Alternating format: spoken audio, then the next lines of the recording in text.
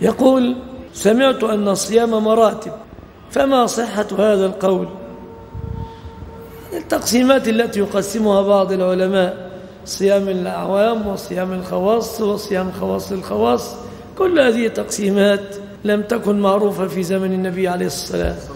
بل قد يكون رجل عامي فلاح عامل في شركة لا, لا لم يتعلم وليس من العباد الزهاد ولكن صائم ومحافظ على صيامه لا يغتاب أحدا يأكل من الحلال يصل إلى خواص الخواص.